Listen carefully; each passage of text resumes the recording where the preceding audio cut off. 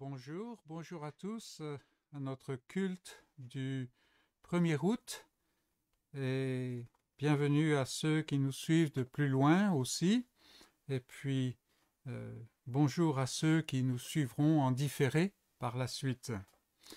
Nous allons donc commencer euh, ce matin par la lecture d'un verset dans le psaume 32 que je vais dire où David dit Heureux l'homme à qui l'Éternel n'impute pas l'iniquité. Et Paul, bien entendu, dans sa lettre aux Romains, reprend cela. Il le développe un tout petit peu en disant Heureux ceux dont les iniquités sont pardonnées et dont les péchés sont couverts. Et puis il reprend le verset du psaume 32 Heureux l'homme à qui le Seigneur n'impute pas son péché. Et en réfléchissant à cela, je me disais euh, il est assez facile, n'est-ce pas, de simplement lire cela ou de, s'en souvenir, euh, un peu comme une, euh, comment, un point théologique. Mais quand on s'arrête et qu'on réfléchit à toute la puissance qu'il y a derrière, à tout ce que Dieu a dû faire afin de pouvoir accomplir cela, alors c'est tout l'évangile qui se déploie devant nos yeux et qui devrait remplir notre cœur, car celui dont les iniquités, ceux dont les iniquités sont pardonnées. Dieu est donc un Dieu de pardon. Il n'est pas comme ces idoles qui sont partout et qui ont ce trait commun de ne pas savoir pardonner. Ceux, heureux ceux dont les péchés sont couverts. Et est-ce que vraiment on goûte toute la force, toute la, douceur et la bonté de euh, la merveille de cette réalité? Quelqu'un peut marcher aujourd'hui dans ce monde qui est touché par le péché, lui-même étant affligé par le péché, et pourtant ses péchés sont couverts. Et ça, c'est l'évangile, car Dieu a amené, Dieu a envoyé son Fils afin de se charger des péchés de son peuple, de ceux qu'il avait aimés depuis toute éternité.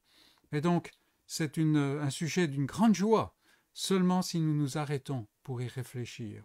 Et je vous invite à prie à remettre ces moments au Seigneur. Prions. Seigneur notre Dieu, nous sommes en Christ, nous sommes bénis au-delà de toute imagination. Il n'a pas pu monter à la pensée de l'homme de telles choses, car le salut vient de toi, ce salut qui est éternel, qui est vrai et qui tient, et qui est en Jésus-Christ. Aussi Seigneur, c'est avec le cœur rempli de reconnaissance, de gratitude et de louange que nous nous approchons de toi, toi le Dieu rédempteur, toi le Dieu de grâce, qui en Jésus-Christ couvre les péchés. Tu ne euh, caches pas simplement les péchés en les mettant de côté, non, tu les couvres, tu as détruit l'acte qui nous condamnait, tu l'as en fait brûlé, et il n'est impossible de le reproduire. Ô Seigneur, combien Christ nous apparaît merveilleux quand nous le voyons sous cette lumière. Et alors que nous nous apprêtons à passer ce temps d'adoration devant toi, nous tournons les regards vers toi, Seigneur, et nous, te disons, nous ne sommes pas dignes. Mais toi, ô Dieu, dans ta parole, tu promets. Et c'est sur ces, ces, promesses que nous nous attachons, c'est que nous nous fondons. Seigneur, nous te demandons que dans ce temps où nous allons euh, chanter tes louanges, nous allons lire ta parole, écouter tes mots et réfléchir à ta volonté pour notre vie. Seigneur, nous t'implorons que tu nous parles et que tu nous donnes des oreilles pour entendre, que ton Saint-Esprit puisse agir en nous afin que nous soyons transformés, car nous te le demandons en Jésus-Christ. Et notre premier euh, cantique ce matin, c'est le numéro 11 dans nos recueils de cantiques. Heureux celui de qui Dieu efface, euh, à qui Dieu pardonne. Donc le numéro 11.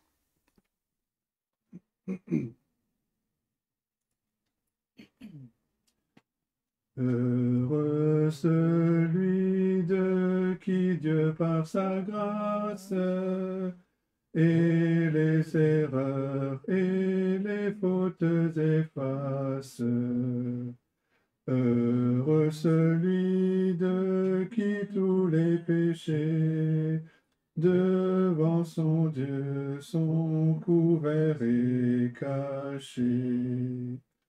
Heureux enfin sans foi, heureux j'estime l'homme à qui Dieu n'impute pas son crime et qui malgré les faiblesses qu'il sent de toute faute au moins est innocent.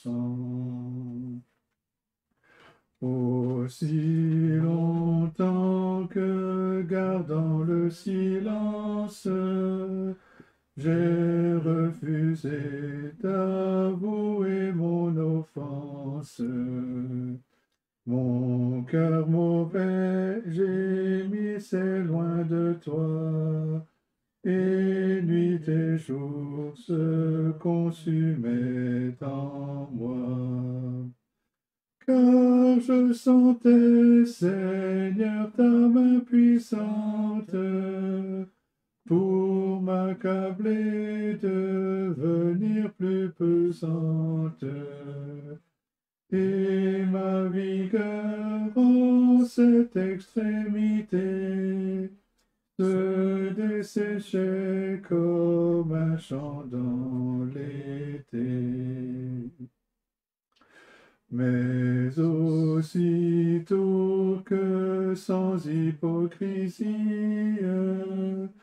j'ai déplacé les fautes de ma vie. Dès que j'ai dit confessons mon forfait, de ton pardon j'ai ressenti l'effet. Ainsi celui que ton amour éprouve te cherchera dans le temps qu'on te trouve.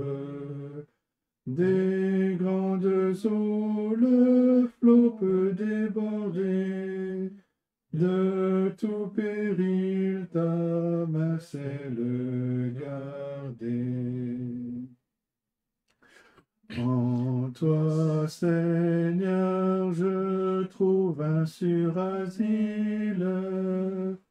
Rien ne m'alarme et mon cœur est tranquille.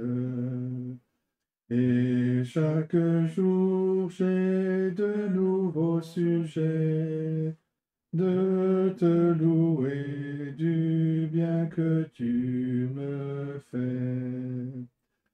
Juste venez célébrer le sans cesse, exaltez-le par des chants d'allégresse, et qu'à jamais ceux qui sont droits de cœur trouvent la joie à bénir le Seigneur.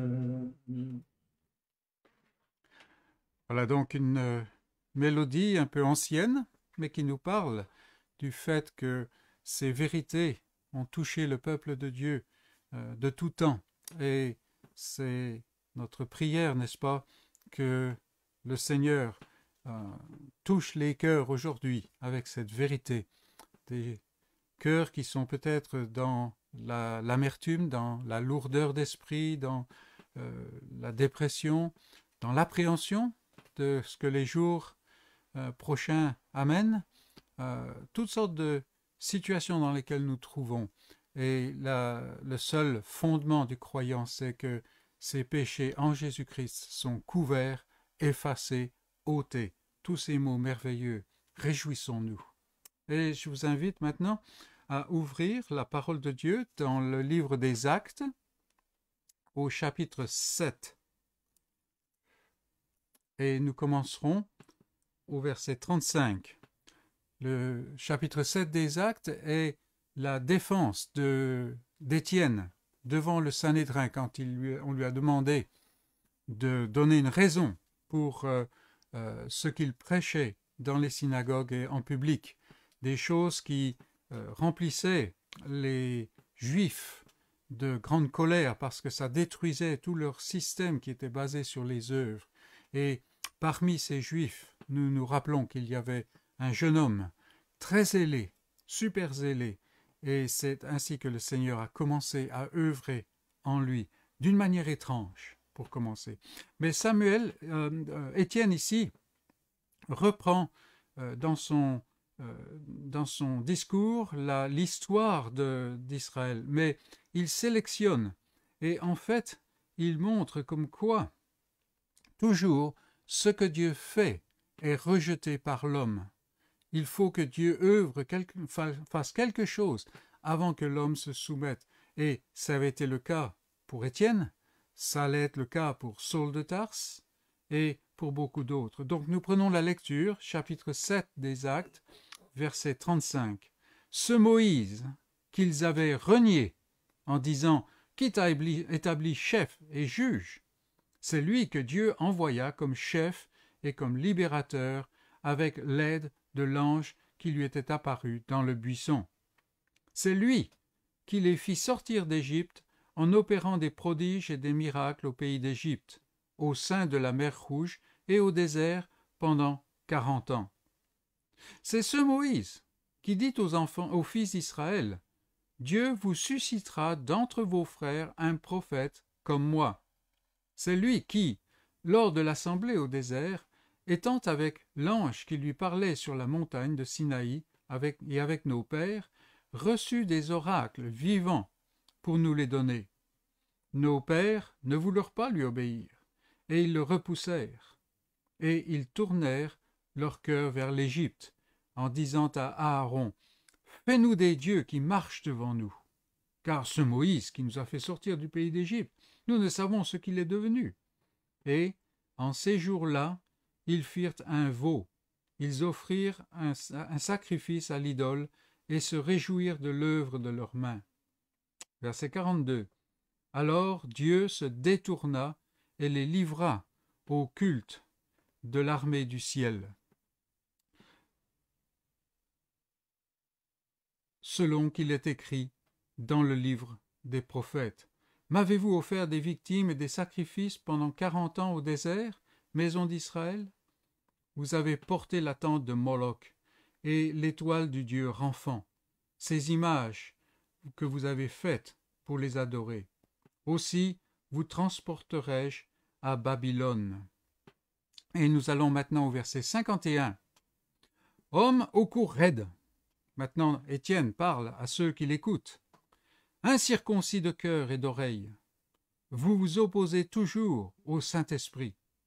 Ce que vos pères ont été, vous l'êtes aussi. Lequel des prophètes vos pères n'ont-ils pas persécuté? Ils ont tué ceux qui annonçaient d'avance la venue du juste, que vous avez livré maintenant, et dont vous avez été les meurtriers, vous qui avez reçu la loi d'après les commandements d'ange, et qui ne l'avez point gardée. En entendant ces paroles, ils étaient furieux dans leur cœur, et ils grinçaient des dents contre lui. Et c'est la parole de Dieu. Dans ce passage, dans ce discours, Étienne, qui est d'une grande sagesse, on se rappelle que personne ne pouvait euh, passer au-delà de lui en raisonnant avec lui, il était habité par l'Esprit de Dieu, eh bien Étienne, d'une grande sagesse, parce qu'il sait qu'il parle à des Juifs qui ont mis la loi et Moïse à la place qui ne leur appartient pas, c'est-à-dire la place de procurer le salut. Or Moïse n'a jamais pu procurer le salut. Il n'est même pas entré dans la terre promise. Et la loi, certainement, ne procure pas le salut, puisqu'elle révèle le péché. Et là, Étienne est en train, d'une manière très audacieuse, de leur montrer que, tout au long, le peuple qui marchait dans la chair, bien qu'étant le peuple élu, le, le, peuple qui marchait dans la chair, a rejeté ceux que Dieu lui a envoyés, même ce Moïse dont il faisait grand cas, et eux-mêmes, en ce moment-là, ils ont rejeté celui dont Moïse avait parlé et que Dieu leur a envoyé, le prince de la vie, ils l'ont mis à mort. Et Étienne est très audacieux, il, ose vraiment les mettre au défi. Et bien entendu, le résultat, c'est que pour la plupart, ils ont grincé des dents, ils l'ont poussé dehors, ils l'ont euh, emmené dehors pour le, mettre à mort. Mais la parole de Dieu touche les cœurs que Dieu a préparés. Et c'est exactement ce qui se passait avec Saul de Tarse à ce moment-là. Et je vous invite à euh, ouvrir le livre de Cantiques et, et nous allons chanter au 55, numéro 55, Dieu lui-même au mystère. Si notre évangile n'est pas un mystère pour nous, quelque chose que nous n'avons pas pu concocter, que nous n'avons même pas pu imaginer, alors ce n'est pas l'évangile de Dieu. Numéro 55.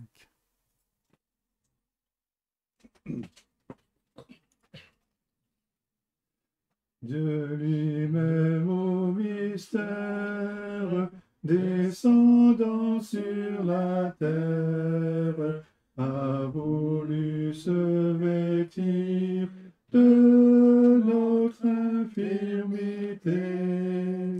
Chétif et misérable, il est dans une étable. Nous dirons son amour pendant l'éternité. Nous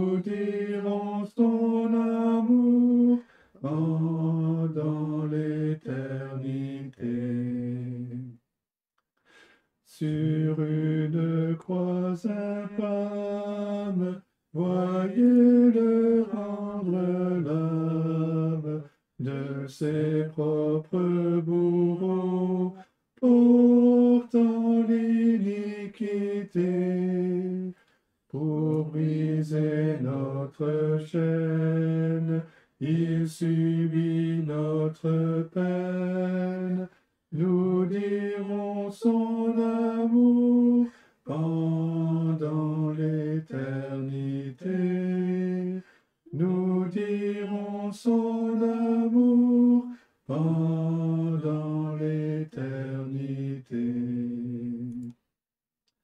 Comme on sort d'un rêve, il s'éveille, il se lève, tressaillé cieux et terre, il est ressuscité. Il nous ouvre la voie, il nous donne sa joie. Nous dirons son amour pendant l'éternité. Nous dirons son amour pendant l'éternité. Entrez dans la lumière à la droite du Père. Il conserve envers nous la même charité pour nous venir en aide. Sans cesse il intercède.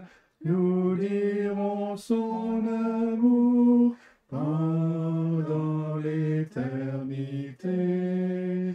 Nous dirons son amour pendant l'éternité. Il revient sur la nuit, attendons sa venue.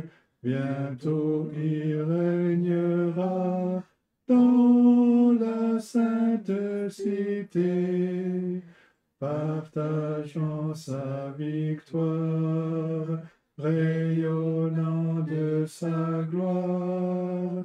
Nous dirons son amour pendant l'éternité. Nous dirons son amour pendant l'éternité. Très beau cantique. Et maintenant, je vous invite à ouvrir la parole de Dieu dans la, la, lettre de Paul aux Romains, chapitre 3. Nous allons lire un passage euh, familier, mais que j'espère est encore puissant. euh, toujours en continuant sur la pensée d'avoir ces péchés effacés, ces péchés qui ne sont point imputés à notre compte, euh, nous voyons que il y a la, la, chair qui lutte, et surtout la chair religieuse qui lutte contre cela.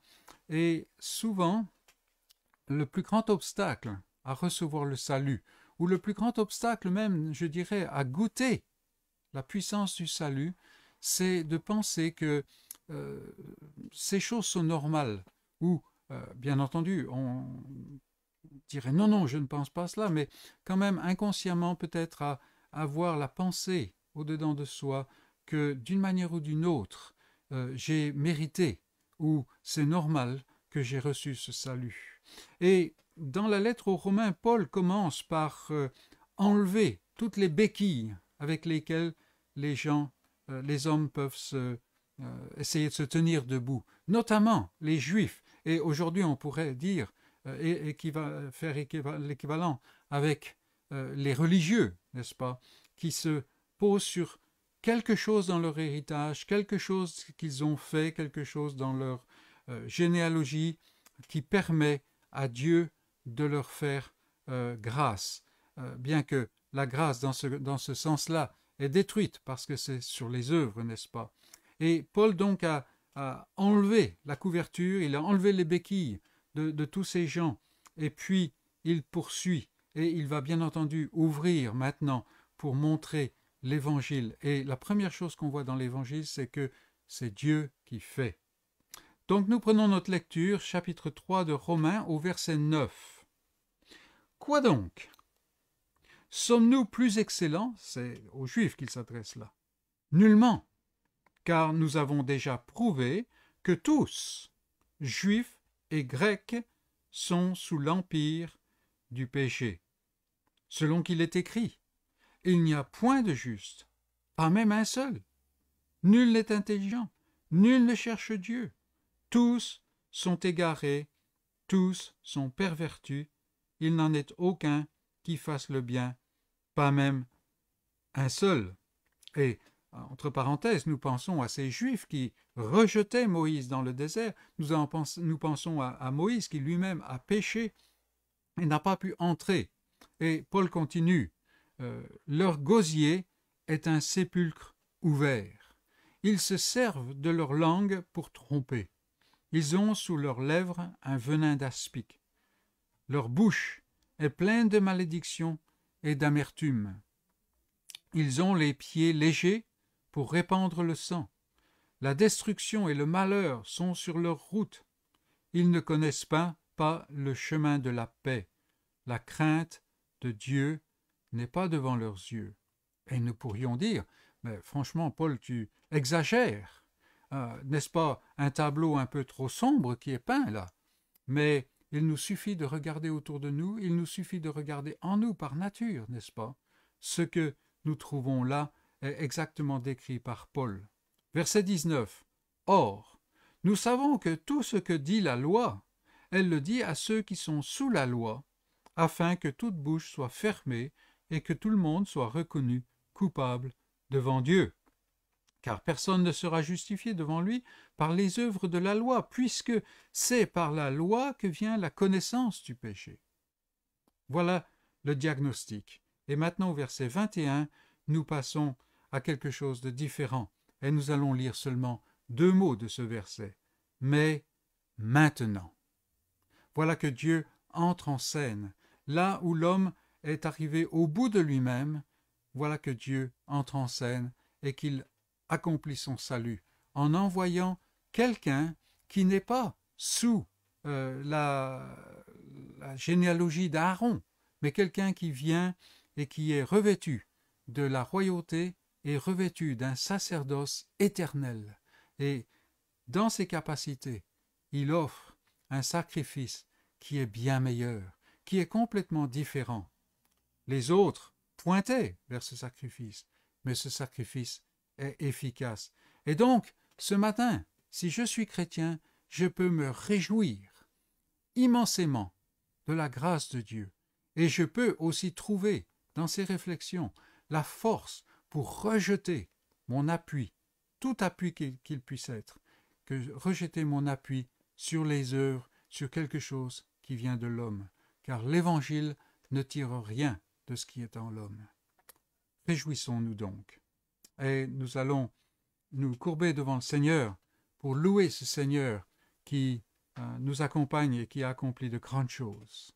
Ô notre Dieu, quand nous contemplons la merveille de ce salut que tu révèles dans ta parole, nous sommes euh, perdus euh, pour les mots, nous ne savons que dire.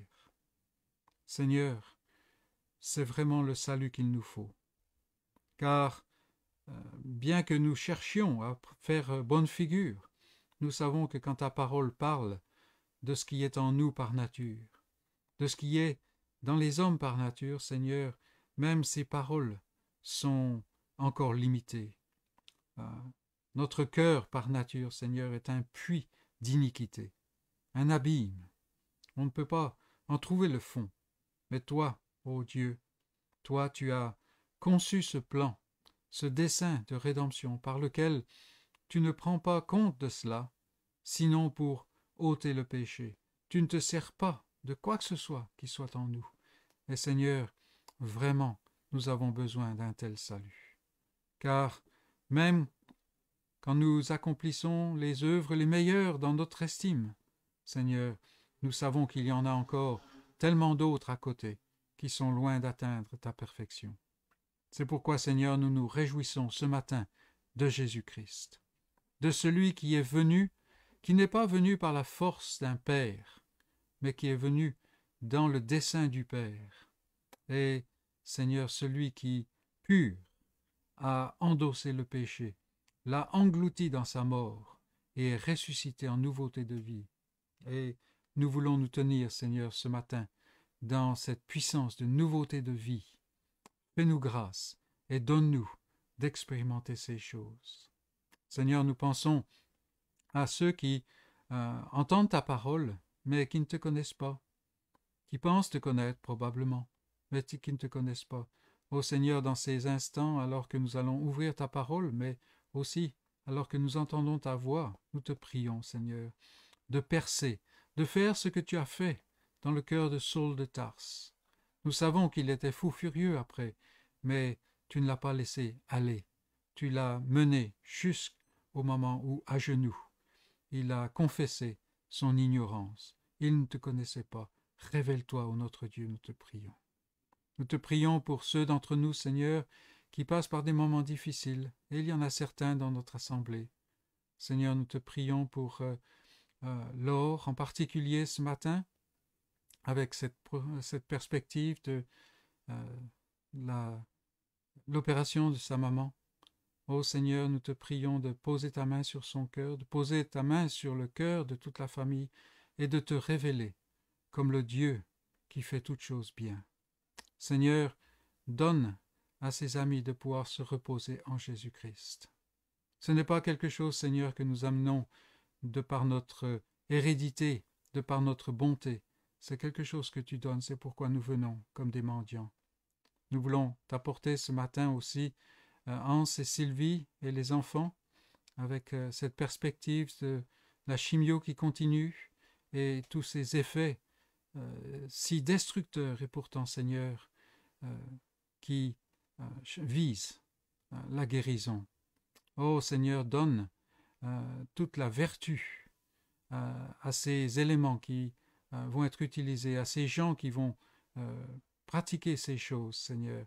Donne-leur toute cette vertu qui vient de ta grâce pour accomplir ton dessein.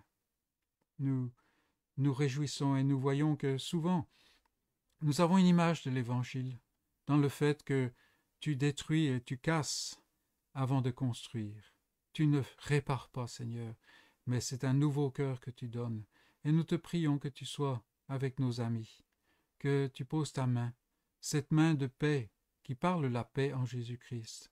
Seigneur, remplis les cœurs de paix, sachant que tu es plus puissant que toute chose, et qu'en tout, en tout, Seigneur, tu fais toutes choses bien selon ton dessein, et tu accomplis un dessein de vie et non de mort. Mais sois aussi avec euh, chacun d'entre nous, Seigneur, parce que nous sommes dans ce monde et il y a tant de frustrations, il y a tant de choses qui euh, nous attristent, même en nous, Seigneur. Et nous te prions que par ta parole tu nous fasses du bien ce matin, que tu éclaires notre âme et que tu nous donnes euh, davantage, si on peut dire, de la puissance de ton esprit, de telle sorte, Seigneur, à ce que nous puissions obéir à ta, volonté et marcher euh, allègrement dans cette nouveauté de vie. Ô Seigneur, sois avec ton peuple qui se réunit sur toute la face de la terre aujourd'hui, sans qu'un aucun pays puisse être imperméable à cela. Et Seigneur, pose ta main sur ton peuple, donne-lui cette puissance de traverser euh, euh, toutes ces expériences, certaines bonnes, certaines qualifiées de mauvaises, mais Seigneur, euh, toutes sous ton règne, sous ta volonté, sous ton contrôle. Donne à ton peuple d'avoir conscience de ta souveraineté, de ta grandeur, de ta merveille, de ta perfection, plus que des difficultés du monde, car nous te le demandons en Jésus-Christ. Amen. Nous allons continuer avec le chant du cantique 206. Le 206 qui va apparaître à l'écran pour ceux qui suivent de loin. Enseigne-moi combien nous avons besoin que Dieu nous enseigne. Il n'y a point de point où nous parvenons où Dieu n'a pas besoin de nous enseigner. Le 206.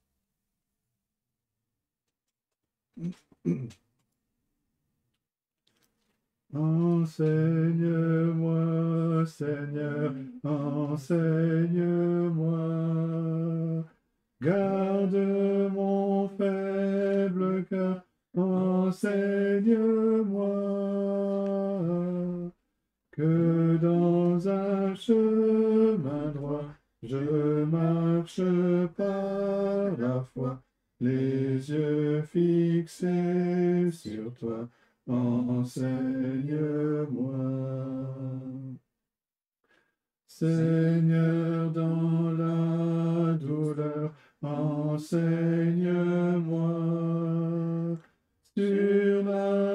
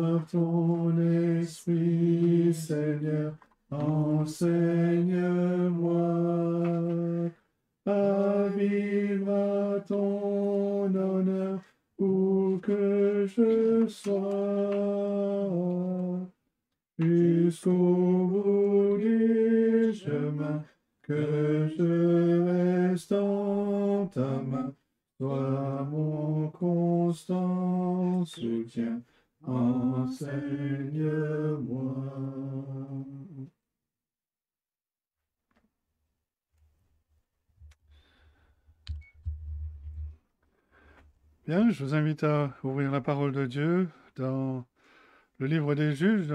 Nous continuons notre série dans ce livre. Nous allons lire le chapitre 12. Juge chapitre 12.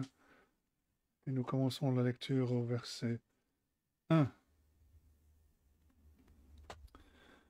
Juge 12, verset 1. Voici la parole de Dieu.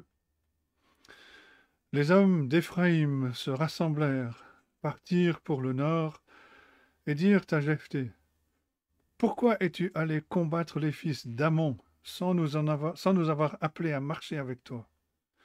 Nous voulons incendier ta maison et te brûler avec elle. Jephthé leur répondit Nous avons eu de grandes contestations, moi et mon peuple, avec les fils d'Amon. Et quand je vous ai appelés, vous ne m'avez pas délivré de leurs mains. Voyant que vous ne veniez pas à mon secours, j'ai exposé ma vie, et j'ai marché contre les fils d'Amon. L'Éternel les a livrés entre mes mains. Pourquoi donc aujourd'hui montez-vous contre moi pour me faire la guerre? Jephthé rassembla tous les hommes de Galaad et livra bataille à Éphraïm. Les hommes de Galaad battirent Éphraïm parce que les Éphraïmites disaient Vous êtes des fugitifs d'Éphraïm. Galaad est au milieu d'Éphraïm, au milieu de Manassé. Galaad s'empara des guets du Jourdain du côté d'Éphraïm, et quand l'un des fuyards d'Éphraïm disait Laissez-moi passer, les hommes de Galaad lui demandaient Es-tu Éphraïmite? Il répondait Non. Il lui disait alors Eh bien, dis Chibolette. Et il disait Cibolette, car il ne pouvait pas bien prononcer. Sur quoi les hommes de Galaad le saisissaient et l'égorgeaient près des guets du Jourdain. Il périt en ce temps-là quarante-deux mille hommes d'Éphraïm. Verset 7. Jephthé fut juge en Israël pendant six ans. Puis Jephthé le Galaadite mourut et fut enterré dans l'une des villes de Galaad. Après lui, Ibtsan de Bethléem fut juge en Israël. Il eut trente fils, et il maria trente filles au dehors, et il fit venir pour ses fils trente filles du dehors. Il fut juge en Israël pendant sept ans.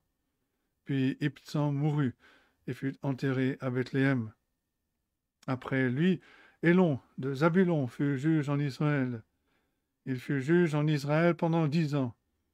Puis Élon de Zabulon mourut et fut enterré à Ajalon, dans le pays de Zabulon.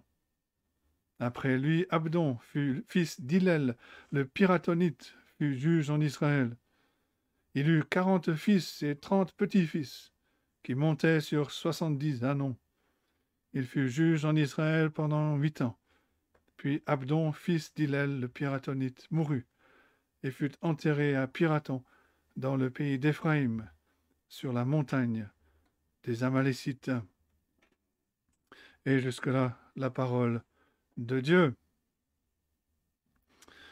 L'histoire des juges couvre une longue période où Dieu a travaillé avec son peuple pour lui enseigner des leçons. Les juges étaient des libérateurs, des petits sauveurs qui délivraient le peuple d'Israël de ses oppresseurs quand celui-ci criait à l'Éternel pour être délivré. Les juges étaient dans la lignée euh, de personnages comme Moïse que Dieu a utilisé pour euh, délivrer le peuple qu'il venait de former de l'esclavage d'Égypte.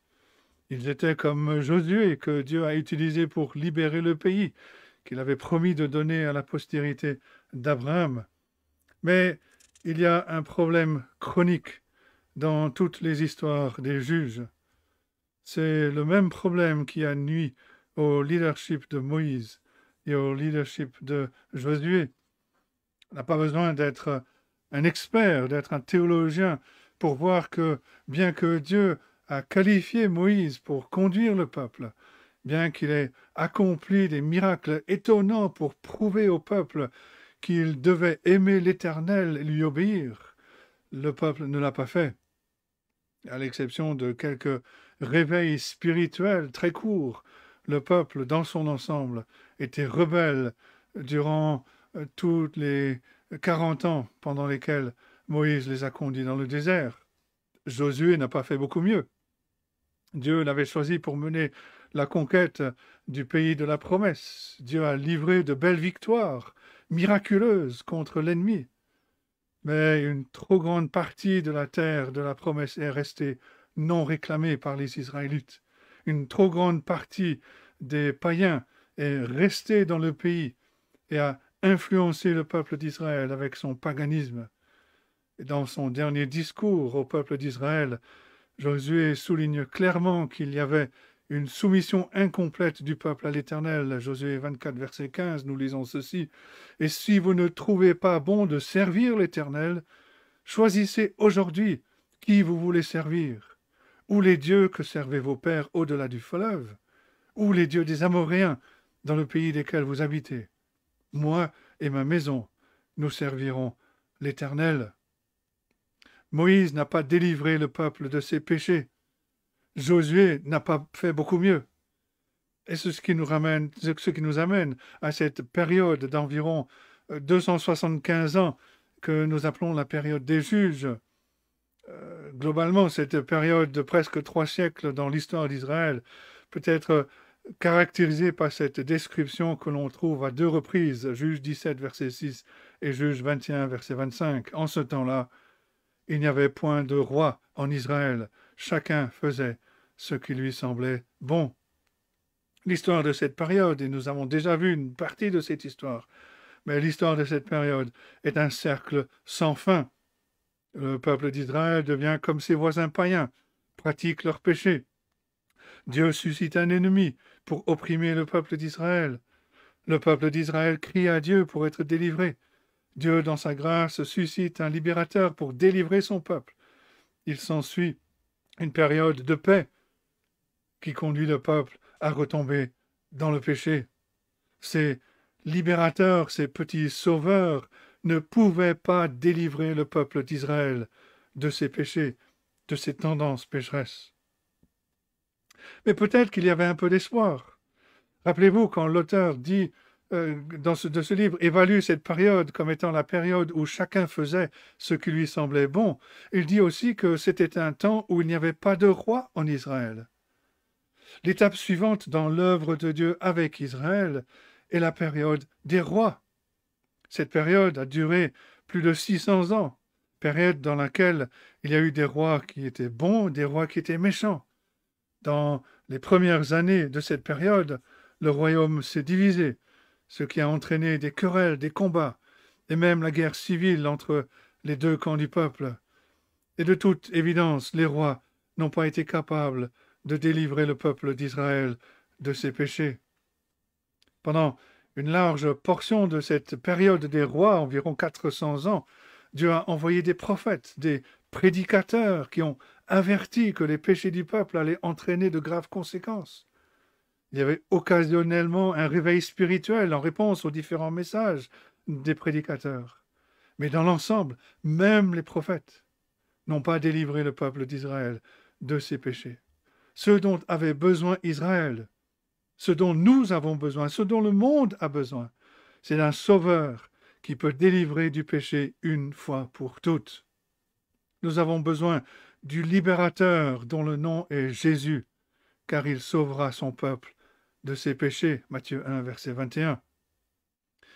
Mais le peuple d'Israël ne connaissait rien au sujet de Jésus. Il vivait dans leurs péchés. Chacun faisait ce qui lui semblait bon.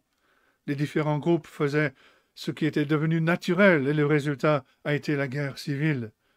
Ils ont prouvé la véracité de l'évaluation de l'apôtre Jacques, en Jacques 4, verset 1. D'où viennent les luttes? D'où viennent les querelles parmi vous? N'est-ce pas de vos passions qui combattent dans vos membres? Malheureusement, l'image que nous voyons des membres du peuple d'Israël, de la tribu d'Éphraïm, se battre contre d'autres membres du peuple d'Israël en Galaad, cette fois-ci de la tribu de cette image se répète sans arrêt dans l'Église visible et même aujourd'hui. Des individus, des individus ou des factions d'Église sont engagés dans une guerre civile, tellement souvent que le monde païen pense que c'est la norme.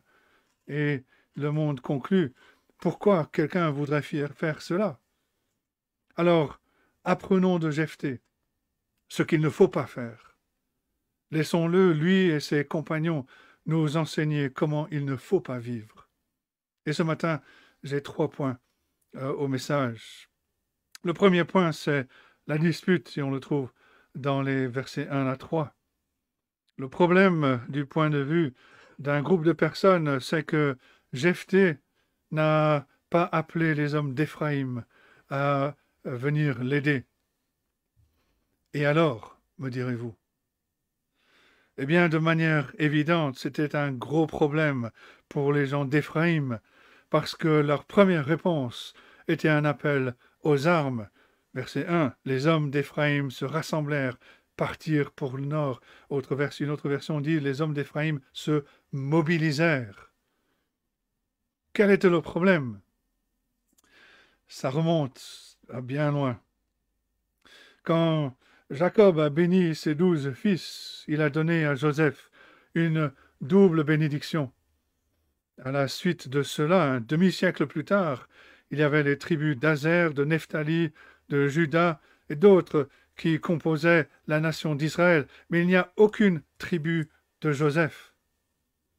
C'est parce que Joseph avait reçu une double bénédiction par ses fils, Éphraïm et Manassé. Dans le dessein de Dieu, les tribus d'Éphraïm et de Manassé, qui représentaient les deux fils de Joseph, Éphraïm et Manassé, étaient les principales tribus du nord d'Israël. La tribu de Juda a toujours été la tribu principale du sud d'Israël. Le résultat, c'est que les hommes d'Éphraïm pensaient avoir un avantage sur les autres. Ils donnaient l'idée qu'ils devaient être en charge parce qu'ils étaient la tribu principale du nord d'Israël. Les habitants de Manassé n'ont jamais donné l'impression d'être animés de cet esprit, de cet orgueil. C'est peut-être parce que la moitié de Manassé était à l'ouest de Jourdain que l'autre moitié était à l'est. Une frontière naturelle comme le Jourdain peut entraver la communication, la coopération. Jephthé, lui, venait de Galade, qui était situé dans la partie orientale de Manassé, le côté est. Mais mettons de côté les discussions géographiques, parce qu'il y a des questions spirituelles plus importantes, plus flagrantes. Que les dirigeants d'Éphraïm se considéraient toujours euh, comme étant responsables pose un problème pour les autres tribus. Et Dieu nous avertit que les relations personnelles dans l'Église souffriront quand quelqu'un commence à avoir une trop haute opinion de lui-même ou d'elle-même. Après nous avoir enseigné que nous devons offrir à Dieu nos corps comme un sacrifice vivant, ce qui sera de notre part un culte raisonnable, l'apôtre Paul continue en Romains 12, verset 3. Par la grâce qui m'a été donnée, je dis à chacun de vous de n'avoir pas de lui-même une trop haute opinion, mais de revêtir des sentiments modestes, selon la mesure de foi que Dieu a départie à chacun. Depuis pratiquement les jours fondateurs, l'Église visible a souffert des problèmes, et on peut donner euh, le nom à ce problème. C'est des problèmes euh, des Romains 12, verset 3 problèmes. C'était le cas à Corinthe, par exemple. Des personnes avaient une trop haute opinion d'elles-mêmes et tout le monde voulait devenir chef. C'était le problème avec Ananias et Saphira. Ils voulaient être quelqu'un. C'était le problème avec Simon le magicien. Ce problème apparaît dans pratiquement chaque lettre que le Seigneur Jésus a envoyée aux sept églises en Asie, euh, dans Apocalypse. On ne devrait pas être surpris de voir que le même esprit est responsable de l'implantation de euh, beaucoup d'assemblées en Occident. Euh, mais beaucoup de ces assemblées sont fondées par des personnes qui sont mécontentes de leur assemblée précédente, des personnes qui sont souvent, qui ont souvent un Romains 12, verset 3, problème.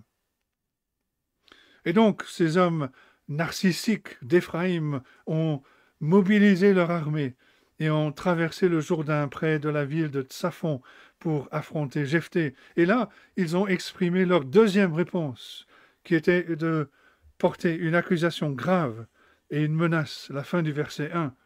Ils dirent à Jephthé pourquoi es-tu allé combattre les fils d'Amon sans nous avoir appelés à marcher avec toi? Nous voulons incendier ta maison et te brûler avec elle. Dans toute cette période des juges, les libérateurs que Dieu a suscités ont eu différents genres d'interactions avec les habitants d'Éphraïm. D'abord, nous lisons qu'Éphraïm ne chassa point les Cananéens qui habitaient à Gézer, et les Cananéens habitèrent au milieu d'Éphraïm à Gézer. Juge 1, verset 29. Le fait qu'ils aient échoué à obéir au commandement de Dieu ne semblait pas les déranger. Ils ont été capables de négliger leur propre incohérence flagrante quand ils ont essayé de mettre à leur place des personnes de rang inférieur. Éhud, nous l'avons vu, venait de la tribu de Benjamin, mais il a été capable de rassembler les hommes d'Éphraïm pour battre les Moabites, juge 3, verset 17. Gédéon a eu une confrontation avec les hommes d'Éphraïm parce qu'il pensait qu'il les avait offensés, juge 8, verset 1. Les hommes d'Éphraïm dirent à Gédéon Que signifie cette manière d'agir envers nous? Pourquoi ne pas nous avoir appelés Quand tu es allé combattre Madian, et ils eurent avec lui une violente querelle, quand ils ont confronté Gédéon avec ce soi-disant problème, Gédéon a fait appel à leur orgueil en leur rappelant qu'ils étaient un peuple supérieur. Et la flatterie de Gédéon a satisfait ces gens fiers.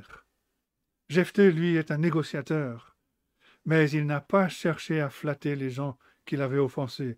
Il était prêt à aller au combat contre ses proches, parce que les chefs d'Éphraïm avaient menacé de brûler sa maison. On ne sait pas s'ils ont choisi ces mots de manière intentionnelle, mais on peut être sûr que ces mots étaient chargés de sens pour Jephthé.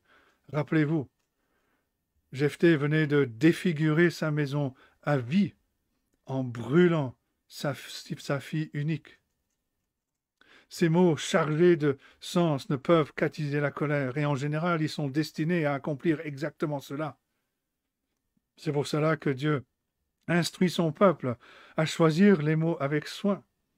La règle, si l'on veut, c'est Colossiens 4, verset 6, que votre parole soit toujours accompagnée de grâce, assaisonnée de sel, afin que vous sachiez comment il faut répondre à chacun.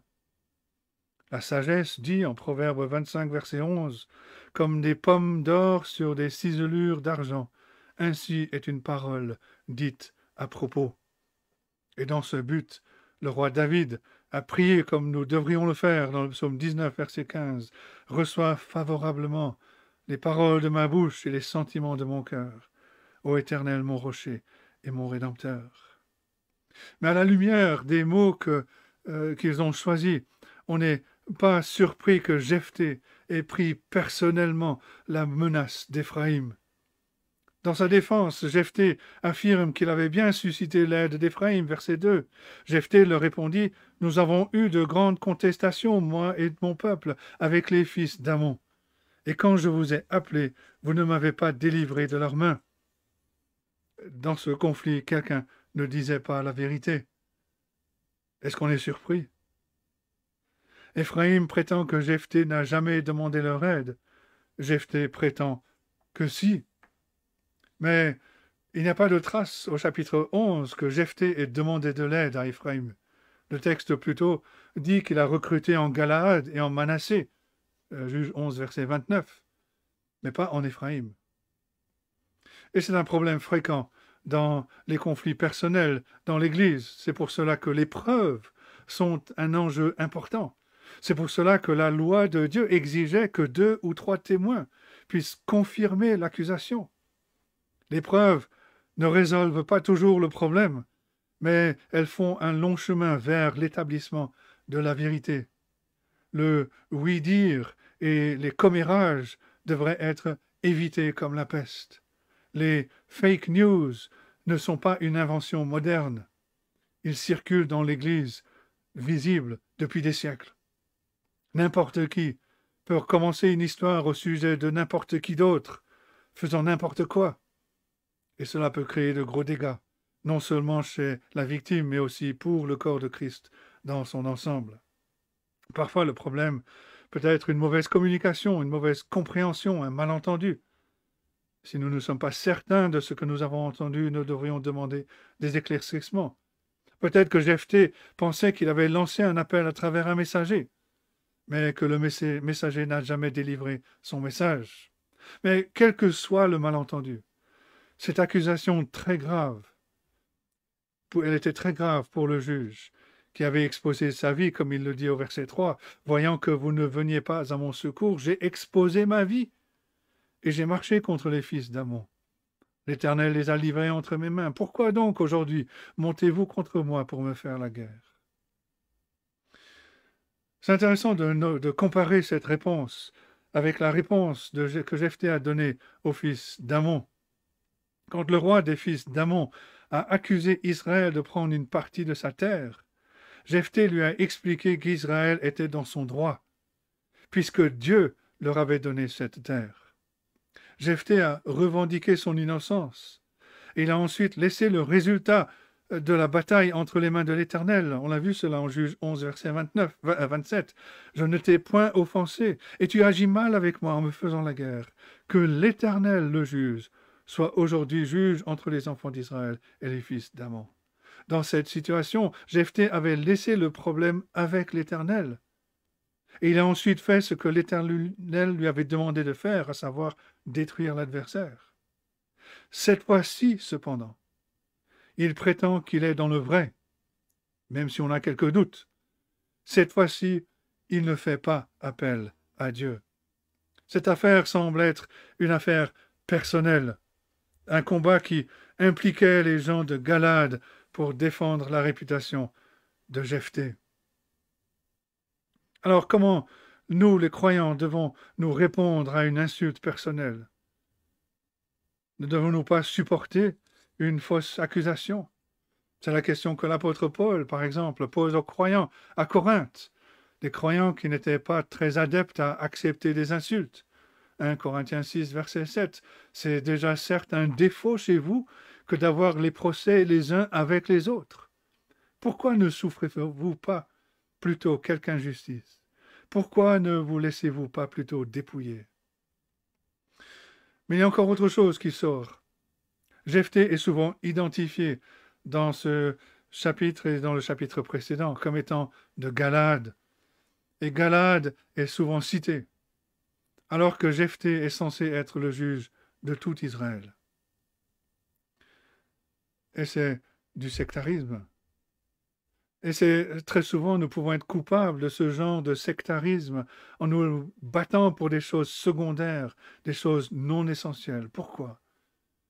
Ben, Jephthé nous montre, nous montre pourquoi. Voilà la dispute. Deuxième grand point, la solution. Verset 4 à 7, la solution qui est apportée au problème peut être décrite par une devise mordre et dévorer. Jephthé nous a rappelé que les gens injustes battent pour des accusations.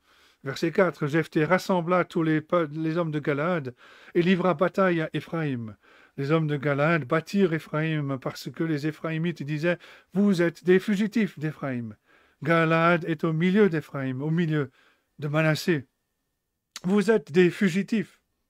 Maintenant, on voit quel était le véritable problème. Les gens d'Éphraïm considéraient ceux qui habitaient en Galade comme des infidèles, des gens qui s'étaient séparés d'eux. Ça ressemble à deux assemblées évangéliques qui sont rivales.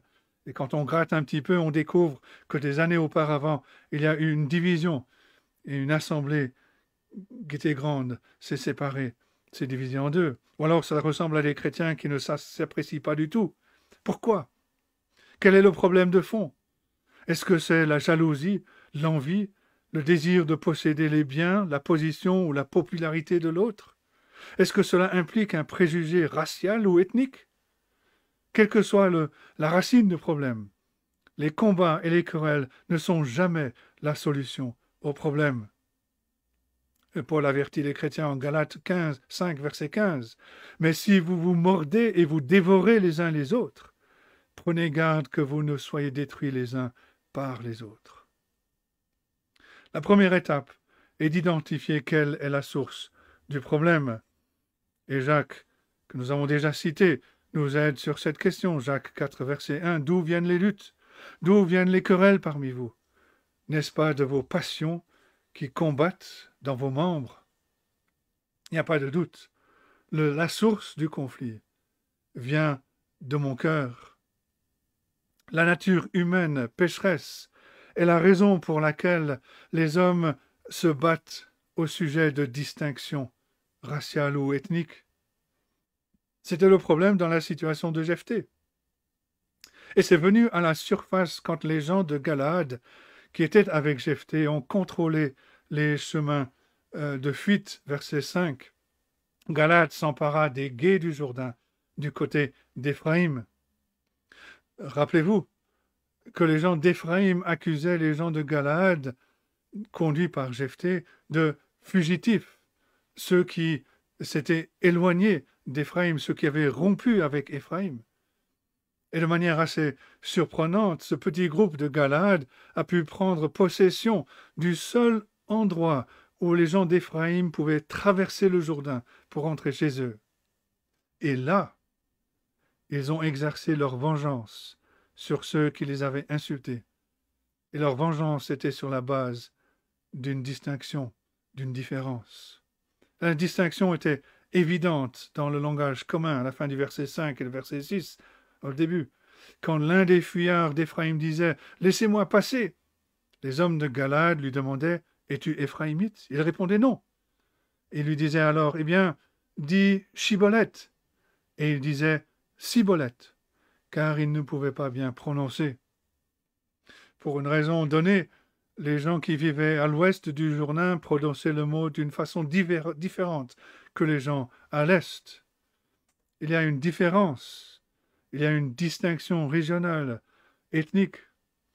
On pourrait citer euh, une liste de toute une liste de différences, de distinctions régionales. Euh, je pense à nos amis suisses qui ne sont pas très loin, euh, qui utilisent les mots de 70 et de 90 pour parler de 90, de 70 et de 90. Les Belges font la même chose, ils sont un petit peu plus loin. mais même dans notre petit groupe, dans notre petite assemblée, on prononce certains mots avec l'accent bourguignon, certains le prononcent avec un accent qui vient du sud ou vient vraiment du sud. Il y a des différences, mais on ne peut pas être partial. On ne peut pas affirmer que notre accent est le meilleur, que l'on ne peut pas faire confiance à un prédicateur qui parle avec un accent qui n'est pas le nôtre. Ce serait un préjugé ethnique, régional. Et le résultat fondé sur une telle partialité a été dévastateur à la fin du verset 6 sur quoi les hommes de Galade le saisissaient et l'égorgeaient près des guets du Jourdain. Il périt en ce temps-là quarante-deux mille hommes d'Éphraïm. Parce que c'était la guerre civile, cette distinction a entraîné un massacre. Et les chiffres semblent presque incroyables. Comparons ces chiffres euh, avec les chiffres du débarquement des Alliés le 6 juin 44. Ce jour-là, un peu plus de quatre mille hommes sont morts. Alors tuer quarante-deux mille proches pour une insulte personnelle, ça semble être quelque chose d'invraisemblable, d'inimaginable, impossible pour nous de comprendre. Les conflits personnels peuvent mener à des fins horribles. Et puis un jour, Jephthé est mort. Verset 7. Jephthé fut juge en Israël pendant six ans. Puis Jephthé le Galaadite mourut et fut enterré dans l'une des villes de Galaad. Il a été juge en Israël, mais tout Israël ne semblait jamais être capable d'accepter que Dieu avait prévu que Jephthé les conduise. Et bien qu'il était censé diriger Israël, Jephthé est toujours présenté comme étant le Galaadite. Et ça a été une source de discorde. Jephthé est un homme complexe. Dans ses meilleurs jours, il a démontré sa foi en l'Éternel. Par exemple, quand il s'adresse aux anciens de Galade, Jephthé leur a dit, chapitre 11, verset 9, Si vous me ramenez pour combattre les fils d'Amon, et que l'Éternel les livre devant moi, je serai votre chef. Verset 11 précise, Jephthé répéta devant l'Éternel à Mitzpah toutes les paroles qu'il avait prononcées. Au roi des fils d'Amon, Jephthé explique l'œuvre de Dieu, toujours au chapitre 11, verset 23, et maintenant que l'Éternel, le Dieu d'Israël, a chassé les Amoréens devant son peuple d'Israël, est-ce toi qui aurais la possession de leur pays?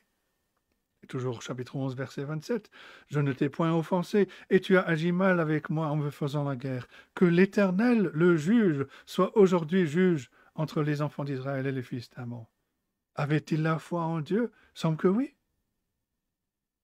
Mais à d'autres moments, il a démontré la pire des faiblesses humaines. Jephthé a sacrifié sa fille unique comme un holocauste. Il est allé en guerre contre ses proches en Israël parce qu'il l'avait offensé. Et pourtant, Dieu l'a inclus dans les exemples de foi en Hébreu 11, verset 32. L'auteur écrit ceci, et que dirais-je encore, car le temps me manquerait pour parler de Gédéon, de Barak, de Samson, de Jephthé, de David, de Samuel et des prophètes. Voilà son nom cité par Dieu, qui est à côté des noms de Gédéon, qui a instauré l'idolâtrie, de Samson, qui vivait dans la débauche, de David, qui a commis l'adultère et le meurtre. Dans le verset 31, euh, le verset 31 cite le nom de Rahab, la prostituée, qui a menti au sujet des espions qu'elle avait cachés. Et puis il y a eu Moïse, qui n'a pas déclaré la gloire de l'Éternel à Mériba, qui a été empêché d'entrer dans le pays de la promesse. Jacob, le menteur, le filou. Abraham, qui a menti au sujet de sa femme, qui a eu des relations sexuelles avec sa servante. Noé, qui s'est enivré. Cette galerie de de Lascar et de Filou nous rappellent que les seuls êtres dans la Bible qui sont parfaits sont Dieu le Père, Dieu le Fils et Dieu le Saint-Esprit. Et nous devons aussi nous arrêter pour nous rappeler que les seuls êtres qui pensaient être parfaits étaient les pharisiens. Les meilleurs d'entre nous ne sont pas mieux que des pécheurs sauvés par la grâce de Dieu en Jésus-Christ et combien nous avons besoin de façon désespérée de la grâce de Dieu, de son influence dans nos vies pour nous éviter d'aller à la guerre l'un contre l'autre pour une insulte personnelle. Que Dieu nous aide à être de bons négociateurs avec les autres pour éviter les conflits et qu'il nous aide à ne jamais négocier avec lui, mais à nous reposer dans sa sagesse infinie à le suivre fidèlement, sans douter. Mais il y a un troisième point. Des libérateurs moins connus. Et c'est la fin euh, du chapitre à partir du verset 8. Tout d'abord, il y a Ibtsan, qui avait une grande famille, verset 8. Après lui, Ibtsan de Bethléem fut juge en Israël. Il eut trente fils, il maria trente filles au dehors et il fit venir pour ses fils trente filles du dehors.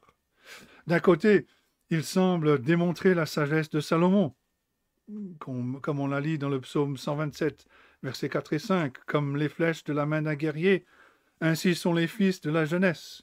Heureux l'homme qui en a rempli son carquois. Il ne sera pas confus quand ses fils parleront avec des ennemis à la porte. Et certainement un contraste par rapport à Jephthé qui a sacrifié sa fille unique mais d'un autre côté, la déclaration présuppose une multitude d'épouses. Peut-être qu'Ibsen voulait construire une alliance, des alliances politiques, au lieu de faire confiance à Dieu. Au lieu d'être juge. Eh ben, pardon, ah, il a été juge, puis il est mort. Il fut juge en Israël pendant sept ans, puis Ibsen mourut et fut enterré à Bethléem. Vous noterez qu'il n'y a pas de mention ni d'oppresseur, ni du péché du peuple pendant le temps où Ibtsan a été juge. Après lui, il y a eu Élon. Il a été juge pendant dix ans, verset 11. Et là non plus, il n'y a pas de mention ni d'oppresseur, ni du péché du peuple. Il est mort, était enterré, verset 12. Ensuite, il y a eu Abdon. Comme Ibtsan, il avait une grande famille. Après lui, Abdon, fils d'Hillel, le piratonite, fut juge en Israël. Il eut quarante fils et trente petits-fils qui montaient sur soixante-dix anneaux. Ces fils, comme les fils de Jaïr que nous avons vus au chapitre 10, montaient des anneaux. C'était une manifestation de leur prétention, de leur orgueil. Abdon était juge pendant huit ans, et comme les autres, il est mort. Et pour lui non plus, il n'y a pas de mention ni d'oppresseur, ni du péché du peuple. Mais il n'y a pas non plus de mention de paix et de repos dans le pays. Est-ce que l'auteur veut insinuer que le peuple d'Israël, en continuant dans son apostasie, a perdu le repos de Dieu même s'il y avait encore un semblant de normalité? Si c'est le cas, alors Israël est la terre qui ne jouit plus d'un don divin, mais qui ne connaît qu'une activité humaine. La vie continue, mais la qualité du temps est différente. La vie parmi le peuple d'Israël peut sembler comme d'habitude, mais les apparences sont trompeuses, il manque quelque chose. Et une fois qu'on voit cela, on n'est pas surpris par l'arrivée d'Icabod en 1 Samuel 4, parce que la gloire est banni d'Israël. Abdon est précisé, euh, nous est précisé qu'il a été enterré parmi les Amalécites, la fin du verset 15, ce qui nous rappelle que les peuples païens qui devaient être exterminés selon l'ordre de Dieu avaient reçu de la part d'Israël la permission de rester dans le pays de la promesse. On ne sait pas pourquoi la Bible nous dit si peu de choses euh, sur ces juges, mais en nous disant si peu de choses à leur sujet, la Bible déclare quelque chose au sujet de la Bible. La Bible ne se focalise pas sur les histoires des hommes, mais sur l'action de Dieu. La Bible est théocentrique, centrée sur Dieu. Cela ne veut pas dire que l'homme ne compte pas, mais cela veut dire que l'homme n'est pas au centre. Les histoires des juges nous rappellent que Dieu est à l'œuvre, et il œuvre avec des personnes imparfaites. Au lieu d'être impressionnés par les juges, nous devrions être impressionnés par Dieu. Un commentateur se rappelle les paroles d'un de ses enseignants qui disait Quand je pense avec quoi Dieu a choisi de travailler, je suis étonné que Dieu arrive à faire quoi que ce soit. Dieu, dans sa grâce, a choisi des êtres imparfaits pour œuvrer pour lui. Et ces êtres ne peuvent rien faire de même. Dans l'Ancien Testament, Dieu envoyait son esprit sur quelqu'un pour accomplir une œuvre en particulier. Avec la venue du Seigneur Jésus-Christ, le parfait libérateur, qui a libéré son peuple de l'esclavage du péché, avec l'union du croyant avec le Seigneur Jésus-Christ, Dieu nous a rendus capables d'accomplir les œuvres qui lui rendent gloire. Il nous a créés en Jésus-Christ pour de bonnes œuvres qu'il a préparées d'avance afin que nous les pratiquions, afin que nous portions le fruit de l'Esprit qui habite maintenant en nous. Comme le dit le Seigneur Jésus-Christ en Jean 15, verset 5, Je suis le cep, vous êtes les sarments. Celui qui demeure en moi et en qui je demeure porte beaucoup de fruits, car sans moi, vous ne pouvez rien faire. Et puis tous ces juges sont morts, enterrés. Mais Dieu a pourvu un juge, un libérateur qui vit éternellement. Le Seigneur Jésus-Christ. La mort ne peut mettre fin à son mandat. La mort ne peut pas annuler les bénédictions qu'il apporte à son peuple. Dans la lettre aux Hébreux, chapitre 7, l'auteur qui parle de sacrificateur, mais la réalité est la même. Il dit ceci au verset 23. De plus, il y a eu des sacrificateurs en grand nombre parce que la mort les empêchait d'être permanents. Mais lui, Christ, parce qu'il demeure éternellement, possède un sacerdoce qui n'est pas transmissible. C'est aussi pour cela qu'il peut sauver parfaitement ceux qui s'approchent de Dieu par lui, étant toujours vivant pour intercéder en leur faveur. Et de plus, Paul dit en 2 Timothée 1.10 que Christ a réduit la mort à l'impuissance. C'est donc à Christ, à lui seul, qu'il faut venir pour être sauvé. C'est en Christ, unis à Christ par la foi, que nous pouvons pratiquer les œuvres qui rendent gloire à Dieu. Et même si parfois nous pouvons avoir honte de nos bonnes œuvres, même si nous pouvons être parfois déçus de nos efforts, nous savons que la victoire nous appartient pas totalement dans cette vie, mais certainement dans la gloire. Parce que nous savons que celui qui a commencé en vous cette bonne œuvre la rendra parfaite pour le jour de Jésus-Christ. Philippiens 1, verset 6. Alors, regardons à Christ, regardons à ce Sauveur, ce libérateur parfait que Dieu nous donne, celui qui suscite la foi et qui l'amène à la perfection. Que Dieu nous aide à méditer sur ces choses et qu'il bénisse sa parole à nos cœurs. Amen.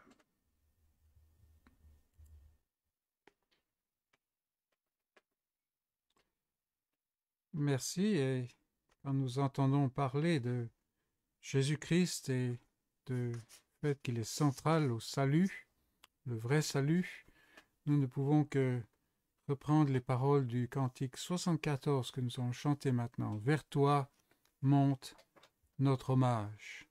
C'est la réponse du cœur qui a été touché par la parole de Dieu. 74.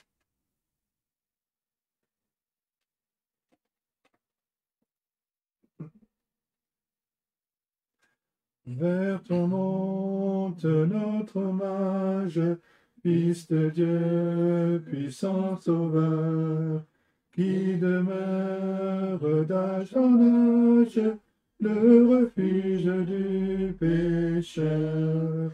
Loué soit ton amour, loué soit à jamais, ton nom Jésus, ta gloire et tes bienfaits. Loué soit ton amour, loué soit à jamais, ton nom, ta gloire et tes bienfaits. De toi vient la délivrance, tu payas notre rançon. C'est en toi qu'est l'espérance, la paix et la guérison. Loué soit ton amour, loué soit à jamais, ton nom Jésus, ta gloire et tes bienfaits. Loué soit ton amour, loué soit à jamais, ton nom, ta gloire et tes bienfaits. Par ta divine parole, chaque jour tu nous instruis, et par l'Esprit qui console, sûrement tu nous conduis. Loué soit ton amour, loué soit à jamais, ton nom Jésus, ta gloire et tes bienfaits. Loué soit ton amour, loué soit à jamais, ton nom, ta gloire et tes bienfaits. Bientôt glorieuse attente, tu combleras tous nos voeux. Sur la nuit étincelante, tu viendras à nous des cieux. Loué soit ton amour, loué soit à jamais, ton nom Jésus, ta gloire et tes bienfaits. Loué soit ton amour, loué soit à jamais, nom, ta gloire et tes bienfaits. Et nous terminerons notre culte par euh, guise de bénédiction par la lecture de quelques versets dans le chapitre 2 d'Ésaïe. Ésaïe nous dit, et c'est quelque chose que nous vivons aujourd'hui, il arrivera dans la suite des temps que la montagne de la maison de l'Éternel sera fondée sur le sommet des montagnes, qu'elle s'élèvera par-dessus les collines, et que toutes les nations y afflueront. Des peuples s'y rendront en foule et diront Venez et montons à, la montagne de l'Éternel, à la maison du Dieu de Jacob, afin qu'il nous enseigne ses voies et que nous marchions dans ses sentiers. Car de Sion sortira la loi, et de Jérusalem la parole de l'Éternel. Il sera le juge des nations, l'arbitre d'un grand nombre de peuples. De leurs glaives ils forgeront des royaux, de leurs lances des serpes. Une nation ne tirera plus l'épée contre une autre, et l'on n'apprendra plus la guerre. Maison de Jacob, venez et marchons à la lumière de l'Éternel. Amen. Et bon dimanche, bonne semaine à chacun d'entre vous, que le Seigneur soit votre force.